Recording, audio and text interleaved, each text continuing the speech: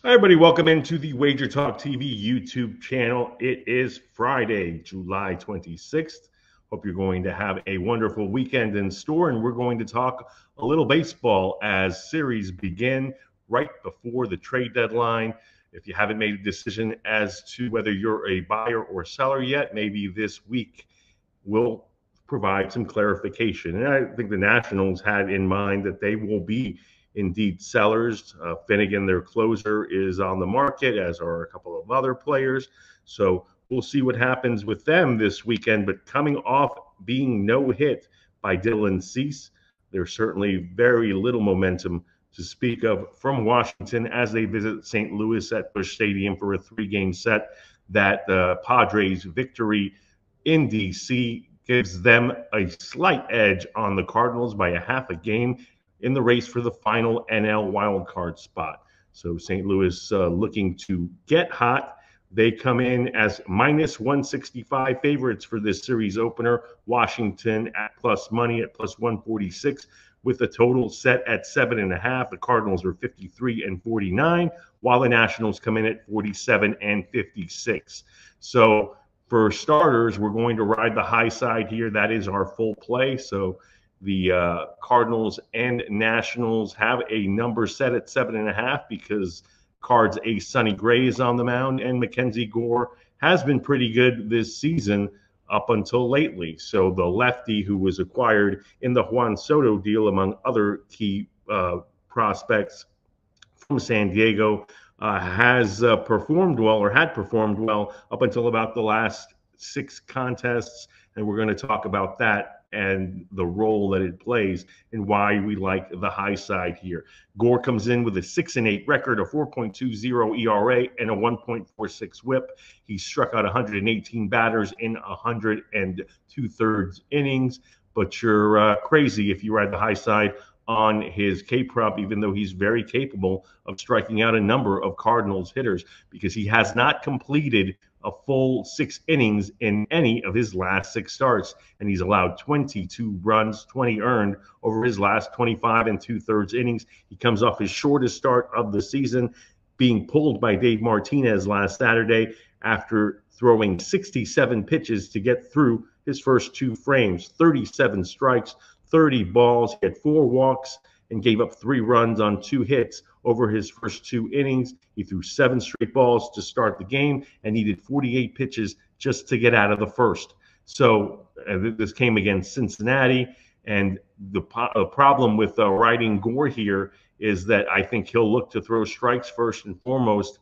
And if the Cardinals are on him early, uh, we could see a quick exit and runs early. And that's why I, I would not advise a no runs first inning play on this contest, even with Sonny Gray on the mound, because I think the priority for Mackenzie Gore will be to throw strikes. So Masyn Winn can get the card started uh, early by getting on base and then wreaking havoc on the base paths.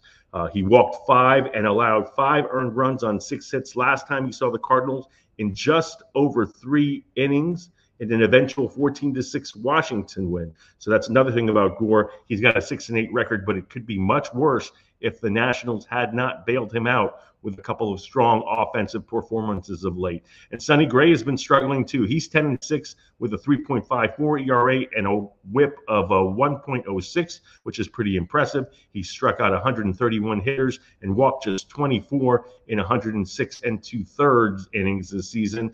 And he's 6 and 4 with a 2.14 ERA. So it's very understandable why the Cardinals would be a heavy favorite in the 165 range against the Nats. Uh, they've been pretty good at home as well. So if you want to ride the money line, that's a little juicy.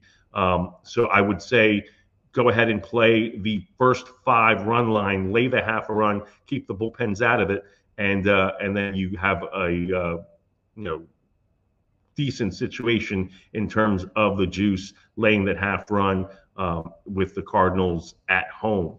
And again, I'm expecting Gore to struggle, but Sonny Gray, no sure thing. He's been shaky over his last four starts. He's allowed 19 runs, 16 earned, um, and despite striking out 28 and walking just two. So that tells me that uh, opposing, opposing hitters have been locating his pitch as well and barreling up. He had given up just 14 runs, 12 earned over his previous seven starts before this rough patch. So clearly he's fighting through some stuff. He gave up five runs on eight hits and a home run to Luis Garcia Jr. when he saw the uh, Nationals in July. So this is a situation where the Nationals are, had lost three out of four this season to the Cardinals. It was the series was played July 5th through the 8th in DC. The Cardinals won three of four, like I said, losing the second game 14 to 6, but outscoring the Nationals in the three wins 20 to 10. So high scoring there, and I think high scoring tonight with the total set at seven and a half. We're riding the over on runs for the full game between the Cardinals and the Nationals. And if you want some hitter props, Willson Contreras is four for seven uh, against Mackenzie Gore. I think he's a, a, solid bet for runs, hits, and RBIs. Dylan Carlson, two for three with two home runs. We'll see if he's a Cardinal past the trade deadline. Nolan Arenado, who's been hitting the ball well of late, two for four against uh, Gore. And Brendan Donovan is three for five. In fact, the Cardinals are 15 for 33 over their careers uh, against Gore. That's a 455 batting average. They've homered twice and driven in nine. So uh, looking to get back on track. This is a rough assignment for Gore. Uh, as far as the Nationals, seeing Gray well, Keibert Ruiz, two for three with a home run.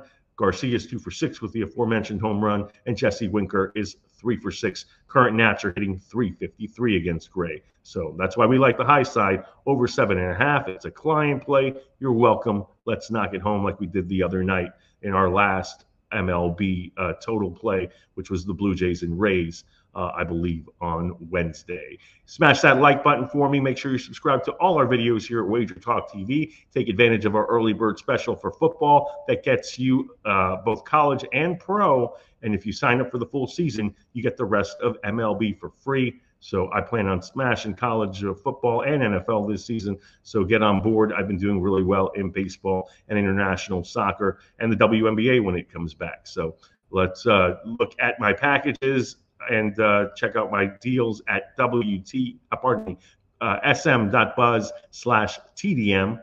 Uh, that's where you can read my bio and check out all my packages and streaks.